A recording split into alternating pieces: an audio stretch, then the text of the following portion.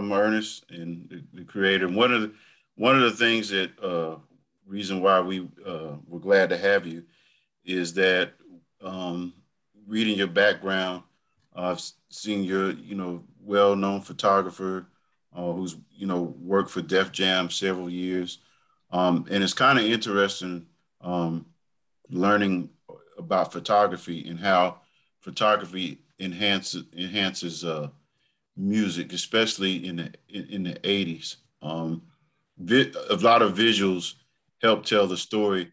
Um, and from looking at your your um, your background, could you talk to us a little bit, like where you're from, and and a little bit of how you got into uh, photography, and what is it about photography that you think is adds a uniqueness to uh, hip hop and music in general? Well, all right. Well, first, let me just make clear that you know I'm not a professional photographer myself. You know, I've worked alongside photographers, and I had okay. a photo gallery for a while, and on and on like that. But I'm not I'm not a photographer. But as for you know the the usefulness of it or the importance of it, um, you know, certainly at the beginning, hip hop was mostly made for the ears. At least rap was made for the ears. Okay. Uh, there was a period, uh, say between you know the first records came out in, in 79 uh, and and there weren't really very many videos made at all until i don't know uh, 82 83 and you, you know it, it, you know photography was important It was important for the same reason that you know album covers were important you know? You know you hear a record on the radio and you love it and you walk around listening to it or drive around listening to it. And you're curious. I think it's a natural reflex to you know want to know what do these people look like? And you want to know more than that even. But you know photos are have always been you know uh, uh, a swell complement to uh, the work itself of a recording artist. What's what's this person look like? So that's all. Mm-hmm. you know as, as, for my, as for my background you know i was i was born in brooklyn. I grew up in detroit. Um, i was blessed to grow up in Detroit in the 60s. It happened to be a great, great time for American popular music. And it also happened to be a time when radio was very, very integrated in a way that it hadn't been, in a, in, in a way that it also it wouldn't be. Mm-hmm. Uh, you know, it became more segregated, weirdly enough, in the 70s. But in the 60s, you know, it was nothing for me to listen to the Beatles and the Rolling Stones and then, you know, Wilson Pickett and uh, Aretha Franklin back to back. And that's just mm-hmm. the way it was then. So, mm-hmm. so what, what sort of captured your, you know, drawn to uh, journalism or uh, photography as an, as an art form? Well, let me, let me say this because you know I, I, appreciate that I'm talking to you know folks affiliated with the college, students and teachers and whatnot, and I, you know, in all fairness, I should say that, you know, I was accepted at the University of Michigan, but that I dropped out after three semesters and I never went back. Mm-hmm. And, you know, you know, that speaks to, you know, you know, my particular uh, psychology, let's say. It also speaks to the times which were kind of tumultuous. But finally, it speaks to, you know, I was starting to find myself, you know, I would have been 19 years old or so. And um, I, I, had a good idea, certainly about what I didn't like at that time, and that mm-hmm. was school. And I also had a pretty good idea about some of the things that I did like. And um, among them were music and reading and writing. And so um, uh, in effect, I was able to assign myself the kind of work, the kind of schoolwork that I wanted to do, the mm-hmm. music I wanted to listen to, the, the, the books I wanted to read, uh, that kind of thing. And so uh, that's what I did. And I didn't go to school. Also, by the way, I took a job uh, before the first day of class as a um, as a clerk at the university bookstore, which had a great record department. Okay. And I held I held on to that job for uh, the entire time I was in Ann Arbor, six and a half years, and that was formative in a lot of ways too. So, mm-hmm. can you talk a little bit about your your experience with, uh, you know, work, you know, working ha- hand in hand at Def Jam, and um, you know, what what sense did you get from a lot of artists in the early period in the '80s, um, with you know groups like uh, Run DMC, LL Cool J, um, what what kind of sense did you get from them as far as again, you know, with photography, it it helps tell a story. So what did you get um, from working with them? What was that like?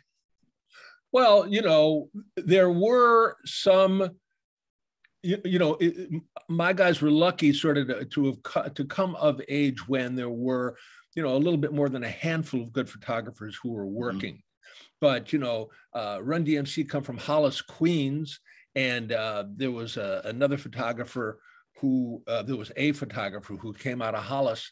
Uh, he was known as uh, Trevor Green at the time. Uh, he's since taken the name Talib Haqq, H A Q Q, um, and he um, he was more Russell's age than the the age of the guys in, in the group, but he was a very good photographer, and he shot the cover for the first album, which came out in 1983.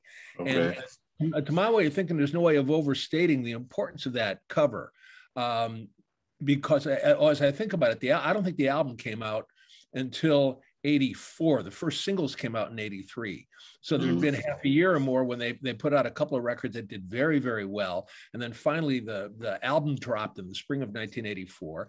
And with an album's worth of music came this wonderful um, cover photo. And all of a sudden, you know, people who already begun to love Run DMC's music got to look at these guys. And the importance, among other things, was not just, you know, how you know what do these young men in particular look like but also mm-hmm. how are they how are they dressing and they uh, w- without making any kind of a uh, uh, an announcement about it they'd already kind of deviated from the uh, uh, uh, the style the the clothing style of mm-hmm. the rappers who had preceded them mm-hmm. you know when you know when it came to you know grandmaster flash and the Furious Five, most notably, or the Sugar Hill Gang, or some of the some of the groups that recorded for the Sugar Hill label. They all uh, they were they were dressing kind of in a way in a way that, to my way of thinking, that was left over. Tell me it's not me. Oh, go ahead.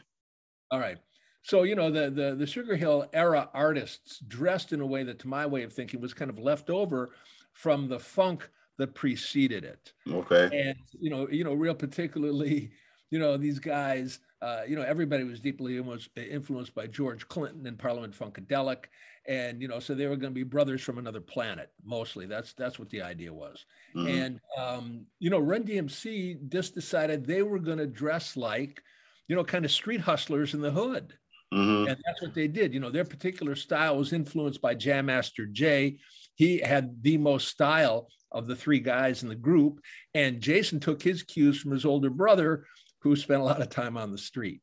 And so mm-hmm. that's the way they dressed. And, um, you know, the, the, the impact of that photo made a big difference because, you know, among, uh, among other reasons, as I said, because, uh, you know, in effect, they were announcing the start of a new generation of, of rappers right there. Right. Were you, were you able to capture any of the, uh I guess like block parties with like, you know, DJ Kool Herc, you know, Grandmaster Flash, capturing those things where they're actually out in the neighborhood where they're where that you know individuals that live there would could come there and and, and you know connect with the with the artists. Did you have any experience of that? And I like how you mentioned the style of the of the you know 70s, you know, drew into the to the 80s. That's that's that's very important. But did you experience any of that? Any of the you know uh, block parties? They don't do much of it now, but sort of like a festive type thing.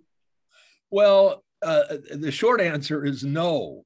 Okay. Um, you know, I didn't. You know, it, it, the thing about hip hop when it began is that it was very, very particular. It started in New York and in the outer boroughs, and most notably in the Bronx. And also, there was a period of uh, gee, I don't know, half a dozen years or so, say between 1973 and 1979, when, uh, you know, block parties uh, were the thing. You know, that's that's what was happening. Uh, and real particularly, there were no records. And so, okay. you know, um, it was it was really kind of like a folk music. And okay. um, it was so powerful in and of itself that it, it attracted people from, you know, from other parts of the city and and certainly by the very early 80s you had some of the artists uh, who'd started up in the bronx coming into manhattan and playing at uh, nightclubs downtown in New York and making a lot of friends with people from beyond the borough. But I didn't get to the city until 1980 and uh, you know i hadn't been hanging out in the bronx you know for you know the through the 70s and so um, you know my introduction to it was you know through records through the, through the very first records you know in, in 1979 when the sugar hill gang came out with rapper's delight uh, I was working as the pop music critic for the Boston Herald American, which was a daily mm. newspaper. And, um, the, you know, um, I, I was listening to, you know, listening to the, you know, a lot of the current music at the time and listening to the radio. And they had one black radio station in the city, radio station WILD. And they started to play this record called uh, Rapper's Delight by the Sugar Hill Gang. Okay. And it was, it really was a remarkable record. Uh, not, you know, nobody was singing, first of all. Uh, second of all, the thing was 15 minutes long, 15 mm-hmm. minutes long. And mm-hmm. the label released it as a single. There was a three minute edit of it. But as soon as kids on the block heard the entire 15 minute version, they memorized every word of it, every second of it. So if, if they're listening to radio at home and the, and the station played the, um, the edited version, these kids would blow up the phones and say, "Are you kidding? Play the whole damn record." And wow. so that was that was a phenomenon. That was, you know, to me, that was that was really astonishing. And then, you know, uh, again, so let's say that's you know uh, late summer, early fall, 1979. By the um, uh, by Christmas of 1979, another very important Chris, uh, a rap record came out. It was mm-hmm. by this guy named Kurtis Blow, and it was called okay. Christmas Rappin'. Christmas Rappin', and you know it was it was wonderful. It was you know probably the first rap Christmas record, but again the music was so new and it was so compelling. You know, kind of apart from uh, uh, you know the form of it. Uh, uh, mm-hmm. let's say apart, apart from the subject matter say that right? Okay. That it played right through christmas and very typically you know to this day you know uh, christmas records are made for the christmas season. Right and you listen to them on the radio or you play them at home uh, during christmas and come the new year you put it all aside and you're not listening any, anymore. With kurtis blow's christmas rapping radio station wild played that record into february and perhaps even into april they mm-hmm. could not retire it. Once again, the kids wouldn't let them. So, mm-hmm. you know, that, that happened in Boston before I moved to New York. And um, it was, you know, all, you know, impactful to me. Something was happening. I moved to New York, and, and by the fall of 1980, I was freelancing to the New York Daily News. And this guy, Kurtis Blow, had another hit. He had a national hit mm-hmm. with a mm-hmm. record called The Breaks. Yeah, I remember that. Yeah, yeah, man. Well, yeah. you're you're not a young man. I know. Ernest. Yeah. But let me say this. You know what? Okay. This is the advantage of us being older. You know, we lived through some. I'll say that. Mm-hmm. And uh, you know, um, anyway, so Kurt had a national hit, and I'd been familiar with his first record. And so I went to my editor at the Daily News and I said, listen, this guy happens to be local. This is a local story and a national uh, story at the same time. How about if, if you know, I interview him and, and write about him? And my editor said, go ahead. And so I did. And, mm-hmm. you know, that, that led to a, a number of other things. So, mm-hmm. and so my next question, then I'll give the students uh opportunity to ask you questions that they came up with. So how much did the the movie Krush Groovin was you know was a, one of my favorite movies, and that was because you know the local artist at the time, and I remember um, when LL Cool J rock, walks in with his radio, and that I think that captured what hip hop you know was a mechanism, not in an art form. So do you do you think that that helped elevate music a little bit more, meaning you just said that, you know, hey, play the whole record. Do you think that type of movie had a great influence as opposed to you don't see much of that, those type of movies now? Well, here's the thing about rap and hip hop. It, it, was okay. extraordinarily uh, popular right away. And I always think of it by contrast to the, the punk rock movement that preceded it, you know, starting in the, in the mid 70s. And that was something that, you know, it started in America, it was picked up in England, uh, you know, it tried to bounce back to America, and it had tremendous kind of critical impact. Mm-hmm. That is, you know, uh, music writers wrote about it and other musicians were listening. But in, term, in terms of popularity, nobody bought those records. Nobody. Okay. When Rappers Delight comes out in the, in the fall of 1979, it's an immediate popular hit and not just in America and not just in England, but it charted on, uh, it, it charted in a dozen other countries. This was a brand new type of music on an independent label, uh, a black owned label, as a matter of fact. And um, it just blew the hell up. And, you know, so wait, what, what was the question again? We were talking about something in particular. And I was just talking about the, the movie Krush Groove and oh, like, oh, did, it, did it add, a, did it add sort of a, a different validity or spin on of course helping the artist yes that, yeah, yeah, yeah. Of course, you know the thing about the, the thing about Krush Groove. Let me, you know, take a second. and Just say, you sure. know, among among other things, you know, even well before the movie. Here's how here's how the movie started. A writer for the Wall Street Journal decided decided to to do a feature story about our little uh, our little business about Russell Simmons and, and Rush Productions and Def Jam because we'd released, you know, I don't know, you know, like three singles by then, but we were starting to make a stir.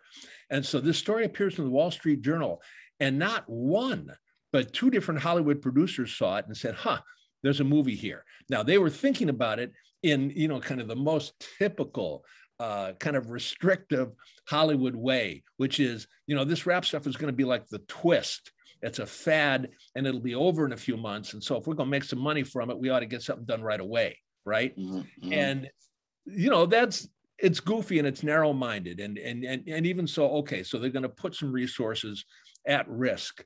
And we started to make the movie in February of 84 and it was in theaters by April of 84. And um, it was you know kind of remarkable because you know it's it's another way of saying you know this music, which was a rumor to most people for a half a dozen years or more, you know, and all of a sudden it starts to come out on records and and you know, then wait a minute, you know, in in the spring of 84, there's a movie about it. There's a whole movie about it. And also by that time, there's all sorts of other stuff happening. You know, mm-hmm. MTV, MTV had started in 1981. And, you know, they, what they were doing was kind of corny. They had a kind of a rock uh, bias to the programming and you know an english rock bias okay, mm-hmm. okay ho hum you know but all of a sudden here comes you know herbie hancock the great jazz pianist and band leader right. and, and you know he he hooks up with um oh shoot i'm trying to oh bill laswell who's a new york based producer who's messing with these um you know he's he's older than rap but he's got rap oriented friends mm-hmm. and so he convinces herb to make a rap record with some of these hip hoppers, and it was called Beat It. No, it wasn't. It was called, you know what? Somebody who's, you know, got a, a cell phone. Look up, look up the name of, of uh, Herbie Hancock. Oh, it was called Rockit. That's what Rockit, Yeah, yeah, I remember that. All right, so he put out a record called Rockit, and they made a great video in London. Okay, and the, com- the combination of the music, which was fresh as hell, and this wonderful video, um, you know, it barnstormed uh, MTV and it opened the door for the stuff that came later. So that um, you know, so that that was 83. By 84, here comes Run DMC, their second single. They made a video of it. It was called Rock Box. Mm-hmm. And again, MTV couldn't leave it alone. Who the hell will run DMC? What kind of music were they, are they making? But something about it was so powerful mm-hmm. that this this brand new national cable network couldn't leave it alone. And this is at a time. Let's you know, it, it was useful to think of of uh, of MTV as a kind of a national video version of the rock radio stations that were you know a thing at the time. And what, what that meant is that none of those radio stations played artists of color, period. They just mm-hmm. didn't. Whatever it was a black artist was doing, it didn't qualify as rock and roll. That was something that white people did, right? Right. And and and uh, MTV, you know, was following that model, and then all of a sudden, first Herbie Hancock, then Run, Run DMC, you know, then LL, you know, in in in uh, you know 84, 85, when his first singles and, and video starts to come out, and you know, on and on and on. The impact of this stuff was gigantic right away and it, and and and huge in a variety of different media too So, mm-hmm. go ahead, Violet. I know you have got some questions that you've written down, but free, feel free to ask Bill. Hi. Hey. Um, my questions was since you've pretty much witnessed like rap history as like a pioneer in music journalism, how do you feel about about today's like rap and rap culture and the evolution from then to now? Well, that's that's that's a pretty broad question. I mean, you know, uh, let me just say that I'm I'm delighted that it's lasted this long and it's taken so many forms. And um, you know, when I when I think about it, I mean, again, one of the things about it is not just what's happened, not just you know the evolution of of rap in America, but um, you know the, its impact globally so you know again one of the things about it is that it, it's first so popular and then so flexible that people all over the world started to record this new music in their own language whatever it happened to be. And that's something that continues and it's something that i think is is, is very positive. And i think you know the political impact of the music is is hard to be overstated. I mean just in terms of um, you know making black folks more uh, visible in America. You know, and and you know, there was a guy who was uh, partnered up with with Sean Combs, aka Puff Daddy, and uh, his name is Steve Stoute, and he wrote a book at this point is ten years ago or more called "The Tanning of America." Well, that's a process that was put into place. A new wave of it was put into place with rap and hip hop. So all of that's to the good. Now, having said all of that, you know, and also, you know, the style impact, the fashion impact of this stuff is is astonishing and it continues. But you know, um, in terms of, you know, I don't I don't know how political you might be, and I don't know if you, you know, in effect, you're asking about the politics of the music, and perhaps, you know, you know the the the the sexism of the music or the homophobia of it or you know the the money mindedness of it is any of that of interest to you it could be. I'm all for that. Um, I was like asking like, as far as like to, today's state of rap, like how you felt about the artists of today and the culture of today around rap. Listen, I got I got to tell you, you know, it's it's not like I, I I don't pretend really to keep up. I'm not fiendish about it. You know, everything just used to land in my lap, and so it was unavoidable. But you know, I haven't you know worked for a record label for for decades now. You know, there was a period. I've got you know my my son is 31 years old now. You know, starting when he's a teenager, he's going to turn me on to the stuff that he was listening to at that moment. So, you know, I, I got to be, uh, you know, I was exposed to uh, music that I might not have heard very much at the time. You know, would I have paid very much attention to Lil Jon if my son wasn't, you know, pulling my coat sleeve? I don't know, but he did, and I'm grateful. And you know, some things break through to me. You know, uh, Megan Thee Stallion kills me. Car- Cardi B always kills me. Um, but um, I'm not. Um, I'm really, really not even close to an expert on on you know contemporary rap. I you know I'm I'm just glad that you know things still happen in its name. And also, what occurs to me is that um, there's a tremendous amount of stylistic variety in it. You know that there are, you know, there are uh, uh, huge stars, uh, you know, still operating as rappers, um, but and and maybe all of them, you know, more or less adhere to a kind of a mainstream. But um, you know, I think that you know it, it, takes a variety of forms and it's a variety of different voices and uh, a, a, a, variety of different perspectives. And again, that's all to the credit of um, you know the music, the, the the music that it continues to grow. That it's not, um, it doesn't hem in an artist or anybody who wants to have anything to do, you know, with it. You know, who anybody who wants to make something in the name of hip hop is basically free to go ahead do you and good luck to you and you know likewise you know i mean i think part of the popularity part of the reason for the popularity popularity of it is that it is so broad and it does allow so many uh, uh, different kind of folks to identify with it. Is that an answer? Yes thank you. All right. Ms smith you got a question? Yeah i have a question. So um when i was doing research and you mentioned this before. Um, it's it was stated that you grew up in New York, Michigan, and Detroit. So moving from those different states, do you think that helped you shape your interest in hip hop journalism? Journalism, and then my other question is, with your um, Eyejammie hip hop collection, did you choose to shoot in black and white to portray a message, or was that just something you thought would benefit like pe- viewers to um you know be connected to it? Well, look, can, would you remind me the second question, and I'll answer the first question first, okay? You know, Yeah. let, let me answer that one. So, you know, uh-huh. it's it's you know basically, it- were you saying you know you're you're wondering if where I grew up helped spur my interest in journalism or, or hip hop journalism? Is that the question? Yeah, I think it's hip hop journalism. Yeah. All right. Well, look, you know, I'm older than hip hop, and I started writing about music uh, before hip hop. You know, I started writing for publication in, you know, 1973. And at the time, I'm in Ann Arbor, and it's a kind of a, a little hippie bastion. And there was a so called underground newspaper. And, you know, if you don't know what an underground newspaper was, you can look it up, that that was the thing at the time. And, um, uh, you know, I wrote about, you know, the things that were interesting to me at the time, you know, and, and, you know, that was a variety of music. I'll, I'll say this, you know, my interest in, in journalism followed my interest in music. That's really the, my, my love of music is really uh, the defining characteristic of my life. It's a lifelong thing. I remember my father singing me to sleep when I still took naps as a, you know, whatever, a four-year-old.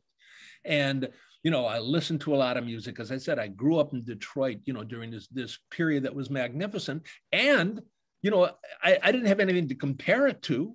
It wasn't until I left Detroit um, and moved to Boston, w- uh, about which I knew nothing, that I understood, you know, how blessed I'd been to grow up in, in Detroit, which which was a great, great city for music. I feel that way. I think I was better off growing up in Detroit than in New York. I was exposed to more music. And um, uh, you know, then I go away to school and I start to work in a record store and I drop out of school, but I could still go work at the college radio station. And so that's another way of expressing my love of music. And then that led to um, the opportunity to write about music. And so it was just kind of one thing after another. You know, it, there was there was hardly ever a time when I thought to myself, "Oh, I want to grow up and be a music journalist." Um, it's just, you know, as I said, the only constant thing was I love I love music, and I want to learn more about it. And these opportunities to express my love, uh, you know, in effect, just appeared, and and I I would dip my toe in and see how it worked. And one thing, you know, has led to another. There was never a period when I thought to myself, "Oh, you know, I'm gonna run a music-oriented art gallery." You know, when I grow up, I, you know, it was just uh, a possibility that presented itself.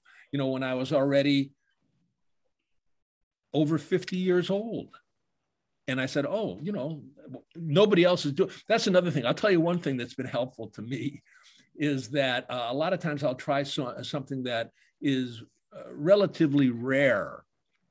And it's, it's like when I went to work at Def Jam, you know, and, and, um, you know, Russell, Russell hired me, but, you know, as brilliant as he was, you know, he wasn't a great uh, organizer of a, of a business. And so he just said, why don't you come work with me? And so I did. And I was on the job for maybe two weeks and I realized that he didn't have anybody, he didn't have a publicist working with him. and so I told myself, um, I haven't done it before, but I know I can do better than nothing. There's nothing going on. He's not doing it. I can do better than nothing. And then I told Russ, and he said, Well, go ahead and give it a try. Right. And so, again, that goes to show kind of how random uh, my so called career has been. But what unifies it all is this. You know, uh, uh, lifelong love of music. Now, the next question is about photography again and shooting in black and white. Was that it? Yeah. So um, with the Eyejammie collection, I noticed that it was a lot of um, photos in black and white film. So did you choose to shoot with black and white film to portray a message? And then, um, or was that the only option at the time? No, no, there was such a thing as color photography earlier. than. But let me let me say, how old are you, Bill? Um, no, there was color photography going back to you know the 40s or so. I think that's really when it started. But um, uh, first of all, let me say again, I am not a photographer. You know, it so happens I've got a couple of pictures in that collection, but mostly, you know, that collection is. Uh, you know, comprises the work of 60 different photographers who worked over the period uh, mm-hmm. that I was I was running the gallery. You know, we're, you know through that period, and I'm not so sure. Uh, I'm not sure why any of them would choose black and white. I, I, I, don't know about personally why any of them would do it, but um, I know why I've done it sometimes. There's something about it. You know, it seems antique. You know, mm-hmm. Um, and yet there's there's there's something about the appeal of black and white photography.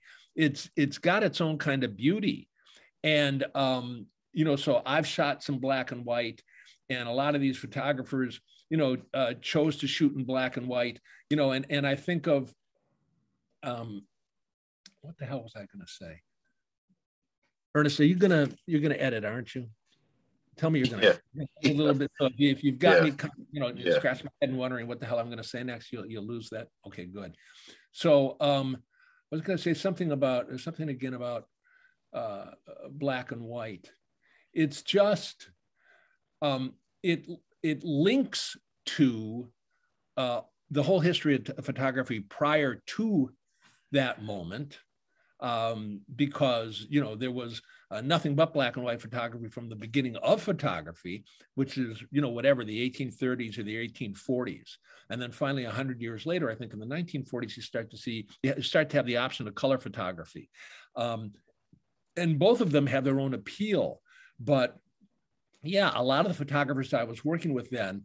Um, uh, chose to shoot in black and white, uh, not always exclusively, but a lot. And you know, uh, come to think of it, you know, um, when the collection ended up in the hands of the Smithsonian, uh, the, the photo curator who bought it, Rhea Combs, woman's name is Rhea Combs, okay? Okay. And so the, the first, you know, Rhea, Rio, uh, Rhea purchased my collection on behalf of the the museum and then she pretty quickly curated a show and the show was fairly remarkable. You know it, it, it was really it's the kind of thing that a hip-hop era person would do. A hip-hop era photo lover would do. Um, she decided to take uh, photos from my collection and pair up uh, the ones that she'd chosen with a, a photo from their larger collection. And the idea was to kind of make a connection between you know this this this kind of brand new contemporary culture with what had preceded it you know uh, within African American life and African American history. And again, I mm. think you know the idea was um, you know to show that as new and as kind of edgy as hip hop was to some people, you know, it was easy to make a connect a connection between what was going on in the hip hop era and what had preceded it in various other Af- uh, er- uh, eras of African American life. And she did that deliberately. And and and the um, uh, a lot of the image, you know, uh, all of the images in my collection are are not in black and white. But I think Rhea chose all black and white for the uh, the show she put together. Mm-hmm. And and and so uh, I went to the uh, the museum in DC. Uh, and I was kind of taken back about all the hip hop, you know, like J Dilla, he's got a lot of the artifacts in there. But, um, you know, how was that process of uh, donating your collection to there and then donating, donating your quest, your collection to, uh, correct me if I'm wrong, is it uh, Cornell? Cornell, yeah. Um, what, what was that like? I mean, it's, it's, those artifacts sometimes they're hard to um, to give up because they're you know they're so priceless. So what you know how how was that for you to relinquish?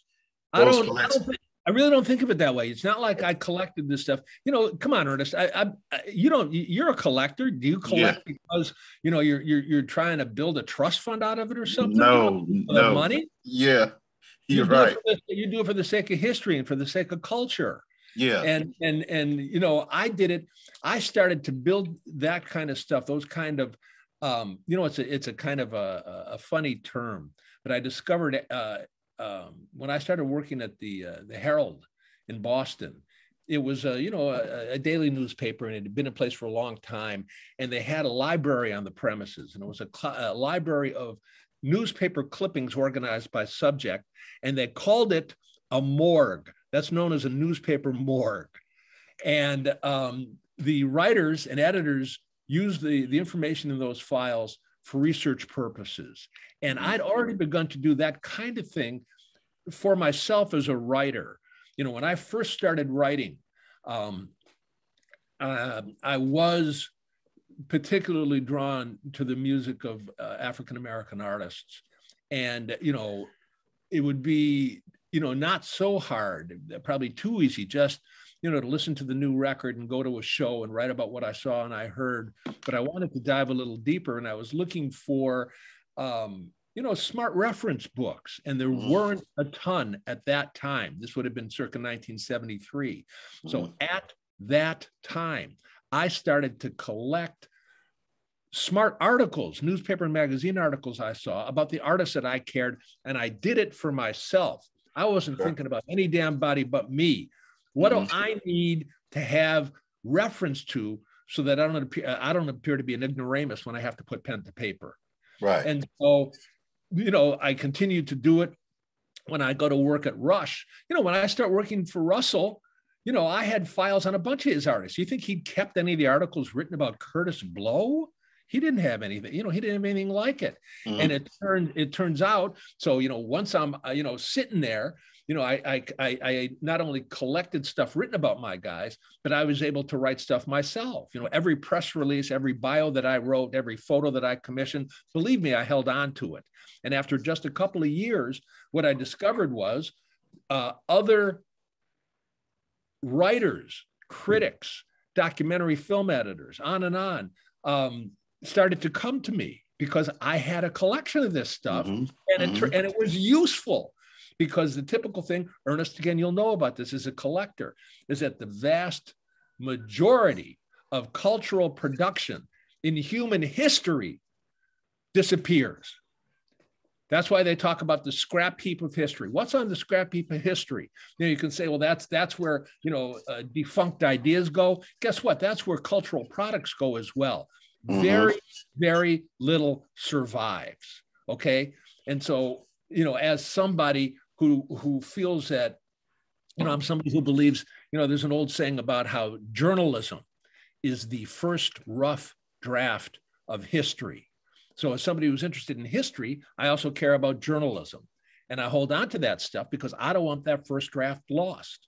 And, and, and as I said, you know, it's been tremendously gratifying to me that uh, my instincts on this, my selfish instincts, let me, let me just try to be a little smarter myself.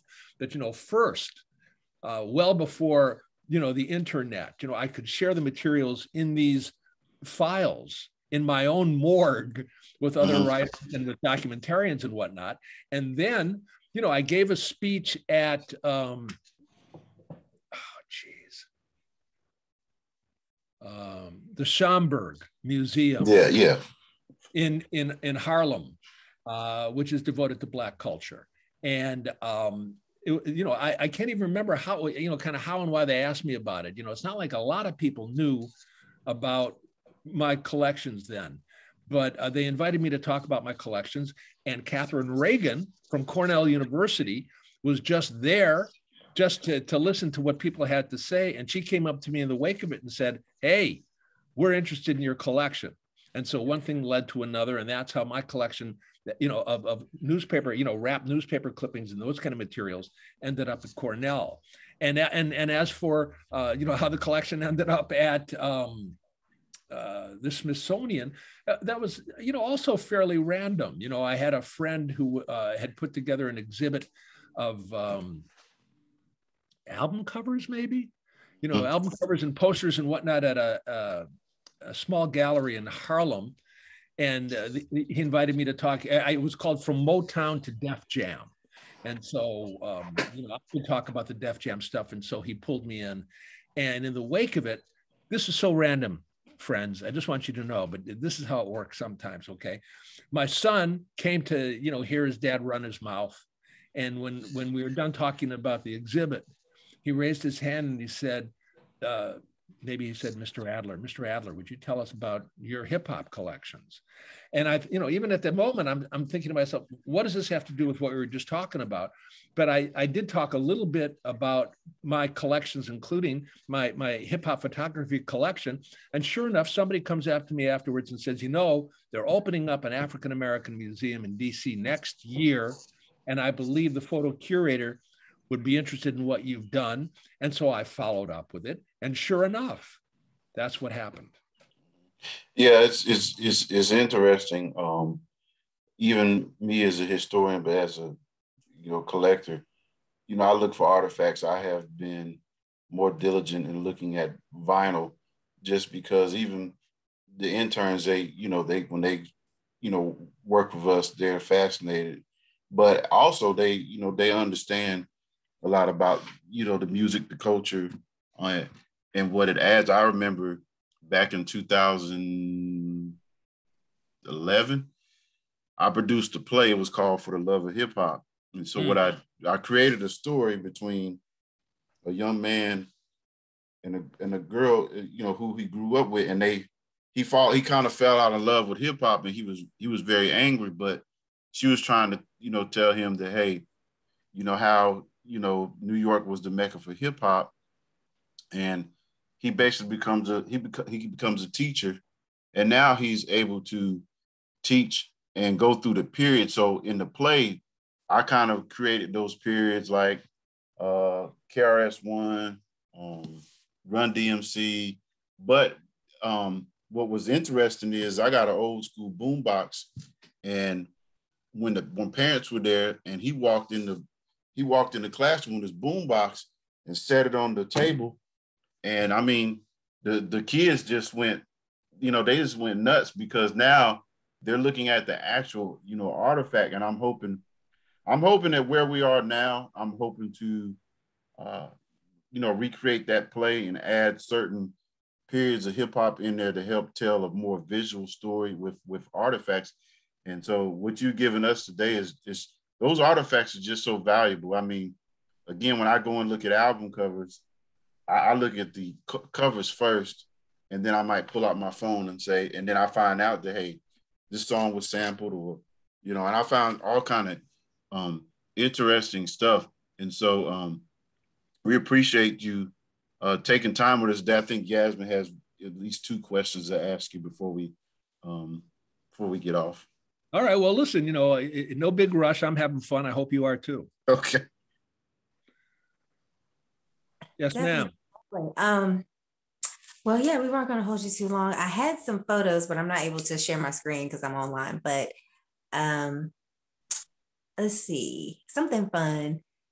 Oh, I just wanted to say though, I listening to what you were saying about being a journalist as I've been a print newspaper journalist for almost 15 years now. And a lot of people think like newspaper, what? Like, yes, I love it. So I've been doing that. And I definitely get that. I understand what you were saying between your, what you're passionate about, such as writing and journalism and what you, uh, you know, have a talent in this, this, uh, the hip hop and enjoying music and things like that. So that's where it just merges for me. And so I'm so excited. I wish we had time to hear more of your stories, but I want to know, um, what's a song that a hip hop song that you every time you hear it, it takes you back to that time working with Def Jam or, or writing about 30 years of hip hop? Do you have a certain song every time you hear it? Gee, I don't know. There's there's so much of it, you know. um, you know, the, I, I I've always been a big fan of uh, "It's Tricky" by Run DMC. I've always been a huge fan of uh, "Bring the Noise" by Public Enemy. Oh man! Uh, and not and not just PE's version of it, but the version of it that was done by this heavy metal band called Anthrax. Does anybody know about that? Raise your hand yeah. if you know the version with Anthrax, please. Okay. Ladies, don't play. Please look it up.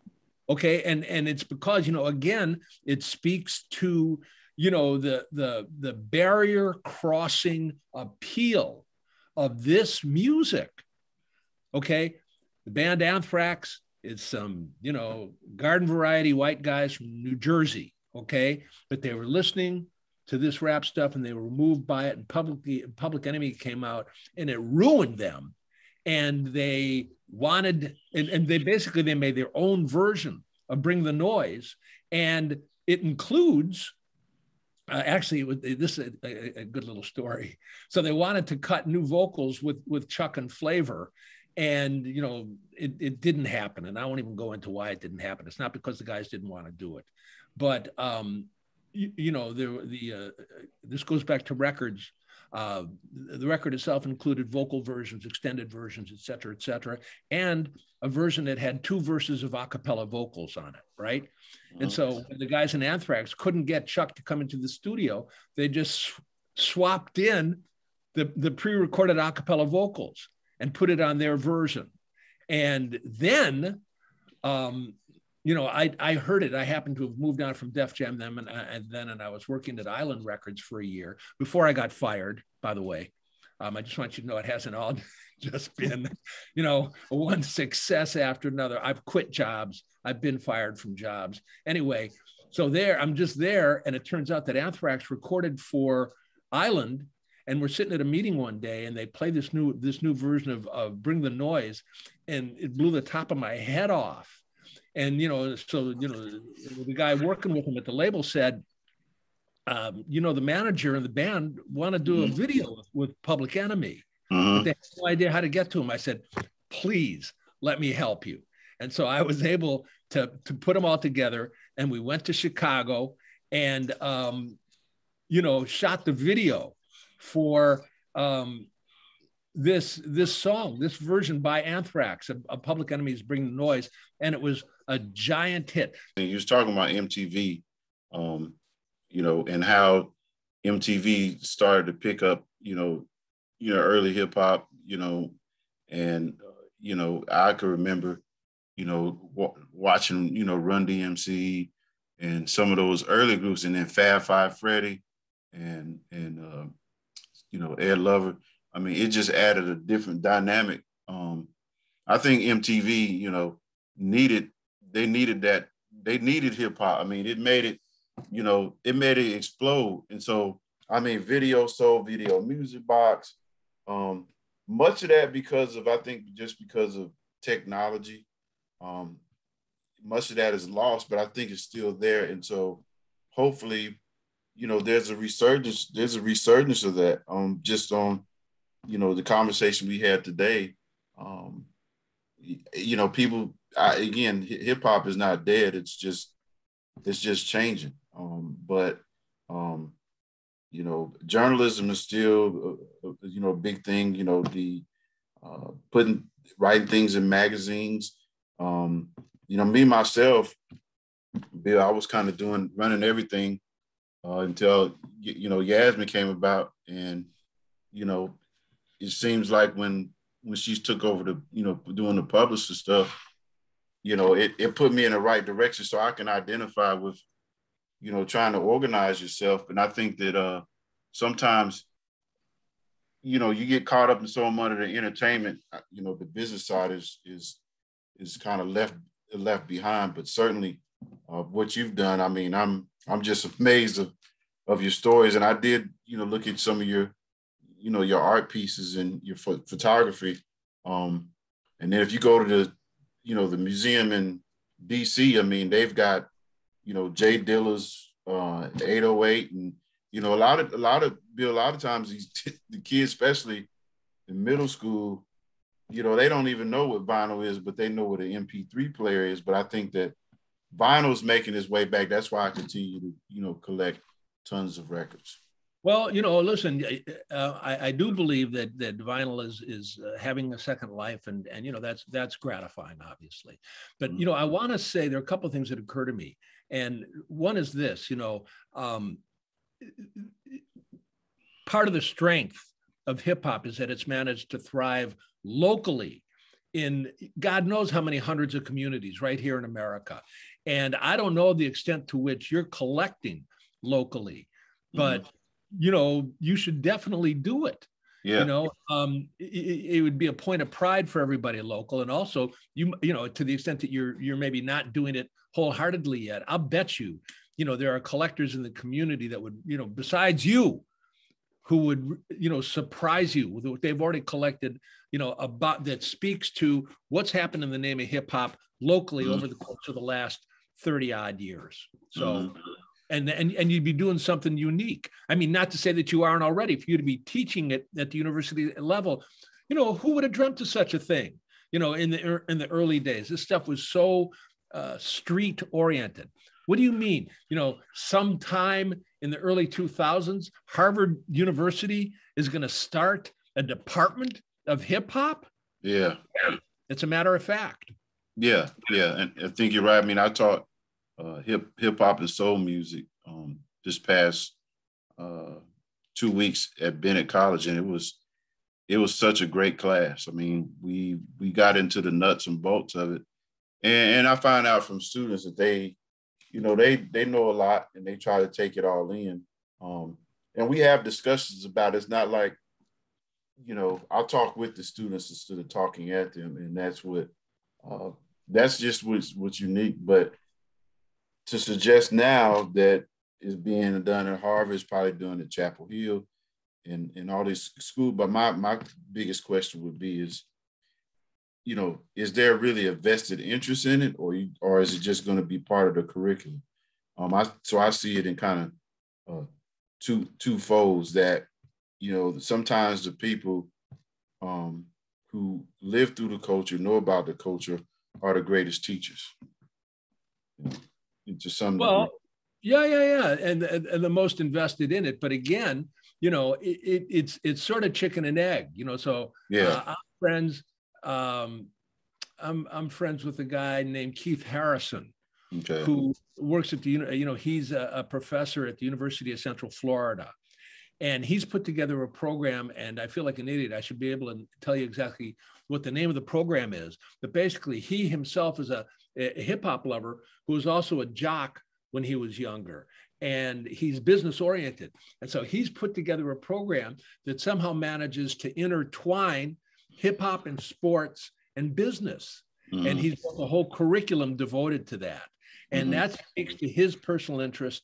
And, and uh, among other things, it speaks real particularly to his interest uh, to educate and to be a teacher. And mm-hmm. it just so happens he wants to teach uh, subjects about which he's passionate. Now, I'm not saying that that's unusual, you know, because, you know, let's say you wanted to teach Greek you know, uh, ancient Greek uh, at the university level. Well, you know, there's there's obviously a surviving literature uh, about it, and you know, an individual can still be moved by what's written and the art that survives and all the rest of that stuff.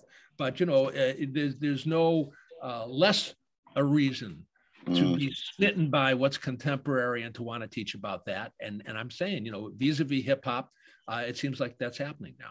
Yeah. And one last question. Did you, I mean, the Fat Boys is one of my favorite groups. Did you ever, you know, run across them and work with them? Oh, sure. In their capacity, because they they made, you know, to me, they're pioneers. They made great music, music too. I agree. I loved them. Uh, you know, again, one of the things about hip hop and, and, you know, a, measure of its, you know, kind of astonishing popularity from the very beginning was that as of the fall of 1984, um, our guys went out on the road, uh, the first Swatch Watch Rap mm. Festival. And Swatch was a Swiss watch company. Swatch, I guess, is a, a mushing together of Swiss watches. All of a sudden, it's Swatch. Okay. And um, it's because, you know, they sponsored the show because um, the Fat Boys were managed by a guy, Charlie Stettler. And mm-hmm. Charlie happened to be from Switzerland.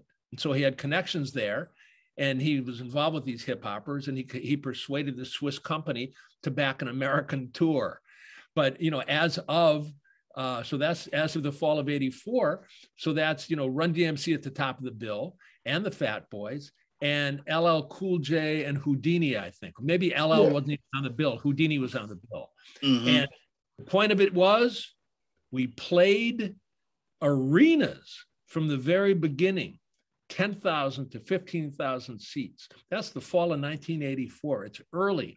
And, you know, the, the equivalent thing, you know, a, a punk, uh, the punk rock era was, um, you know, um, anybody hear of Henry Rollins? You know, the punk rock guy, Henry Rollins? Nobody knows. I never. I never. That's all right. I'm just saying, he wrote a, a, memoir and it was called Get in the Van. Get in the mm. Van. because that described his life. They were going to move from one small nightclub to another. He played a 30, 30 kids one night and 70 the next night, et cetera, et cetera. That's how, you know, that's that's literally the measure of how popular the music was at the time. By contrast, our guys are playing to tens of thousands of people right at the beginning. Wow. And the um, Fat Boys were great. You know, they were they were very, you know, they were they were down to earth as you might imagine. Mm-hmm. You know, good guys. Yeah, yeah. Well, we certainly uh, want to thank you for joining us today.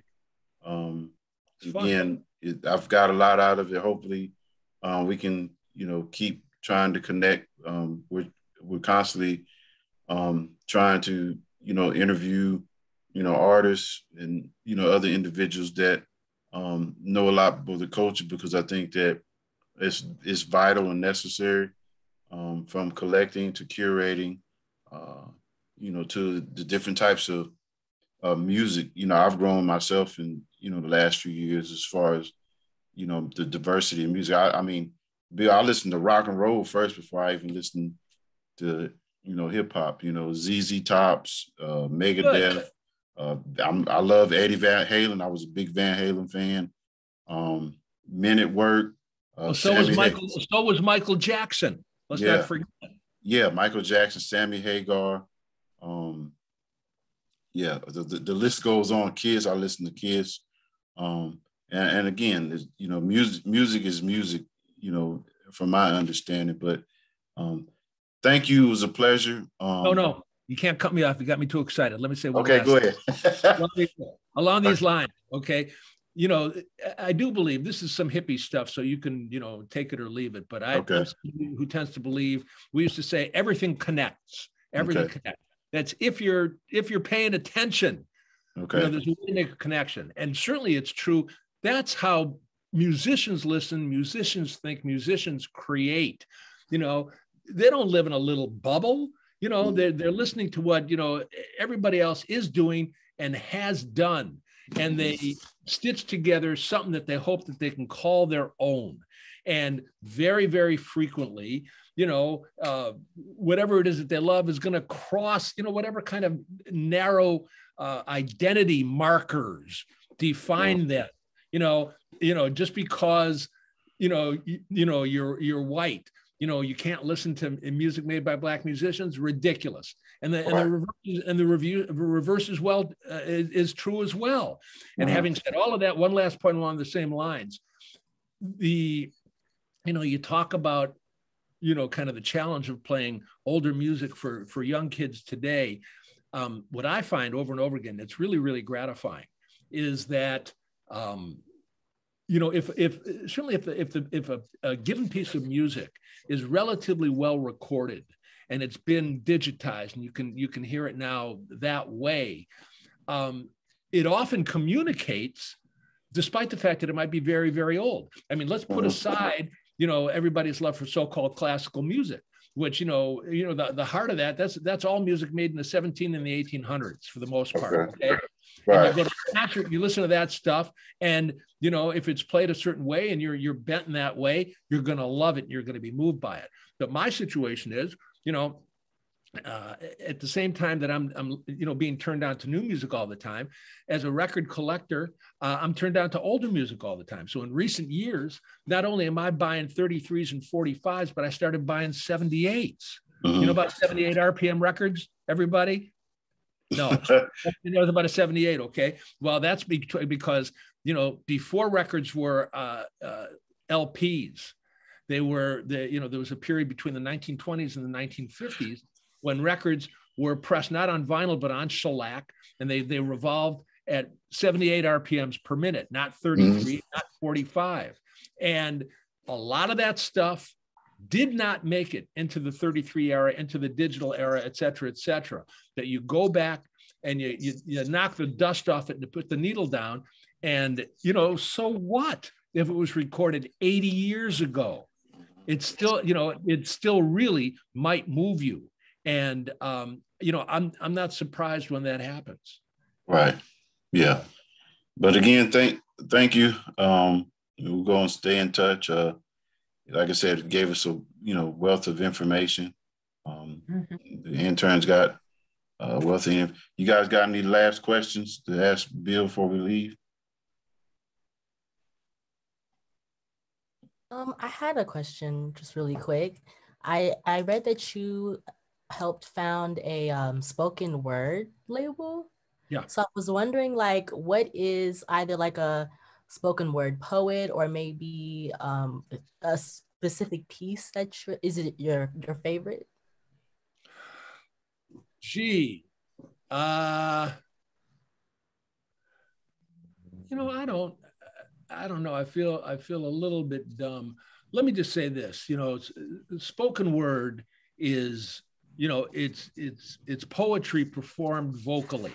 You know, so you know, you you don't want to mystify it. It's poetry, but the, the, the kind of how and why I, I started working on a label was because you know, there was a, a, poet friend of mine in the city. Actually, wasn't even my friend, but he's he's a poet, and he could hear the connection between rap and poetry. And so he came to me and he said, "Listen, why don't we start put together some shows called Rap Meets Poetry, just for fun?" And I said, "Fine." And I was able to talk to some of my guys and pull them in, and and that's what you'd hear. And that led to the creation of the label. And, you know, uh, certainly from the very beginning, I agreed with this poet. His name is Bob Holman. I agreed that, um, you know, rap was poetry.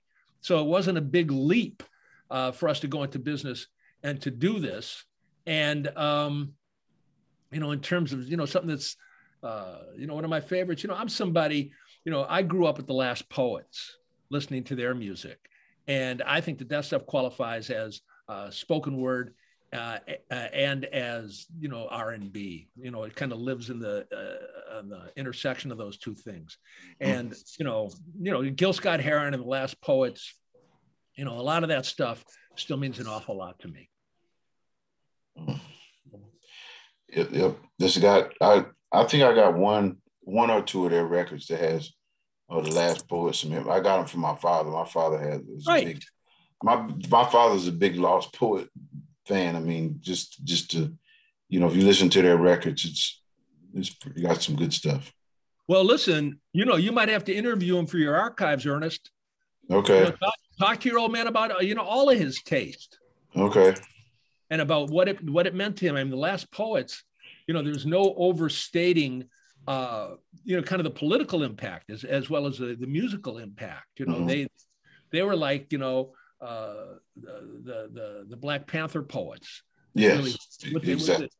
Yeah, and and exactly. so you know, so at one and the same time, they were going to be uh, uh, beautiful wordsmiths, but they're also political as hell. So exactly, exactly. Okay, well, there's no other questions, Bill. We'll we'll continue to stay in touch. We'll, um, you know, I recorded this, and we'll get it all n- nice and fixed up for you so you can get a copy of it. And okay, uh, we'll, st- we'll stay in touch. And hopefully, if you know, if you know anybody that we may be able to interview, uh, let us know. I will. And, you know, what occurs to me is I might reach out. I mean, obviously, we're doing this you know, uh, virtually. So, you know, the people I'm thinking of could be anywhere. But one of the things that happened is that a lot of my guys, uh, a lot of my New York guys, have moved down south. Okay. So I'm thinking I might um, I might call some of them and tell them about what you're doing, and that would be an additional connection for the for you all to talk about. Okay, sure, and we certainly appreciate it. All righty. Uh, yeah, thanks again, and uh, have enjoy the rest of your your your day um, or evening. Yeah. Thank you. All right. Thank you. Thank you. All righty. All right, everybody. Bye-bye. Have a nice evening.